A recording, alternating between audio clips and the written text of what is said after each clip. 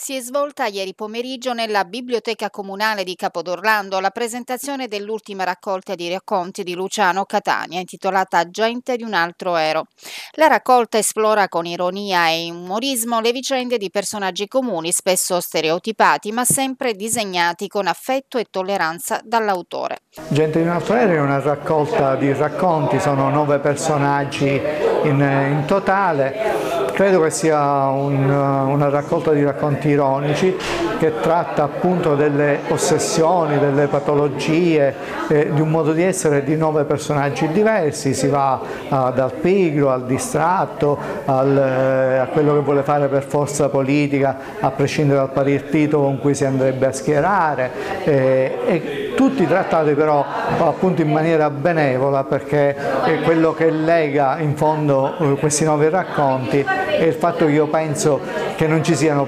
persone totalmente negative, ciascuno di noi è una componente di cose buone e di cose invece eh, meno buone, di cose, di cose cattive. Quindi quello che unisce questi nove personaggi è appunto avere delle, eh, dei vizi, delle ossessioni particolari, ma poi alla fine essere persone a cui guardare nella loro completezza e quindi con animo benevolo. Abbiamo presentato un libro di Lucio Catania che conoscevo come segretario comunale. Devo dire che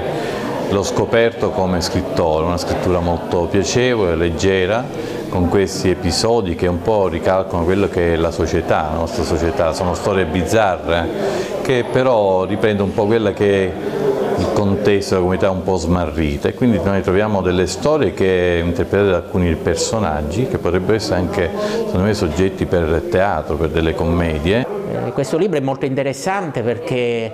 anche nonostante ci sia dell'umore e dell'ironia praticamente dà uno spaccato sociologico della realtà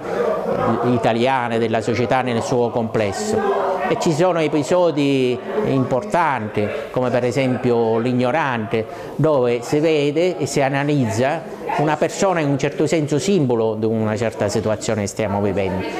cioè a dire c'è un cambiamento radicale di una società che forse si, a volte si pensava che andava verso un futuro radioso e migliore, forse non è così.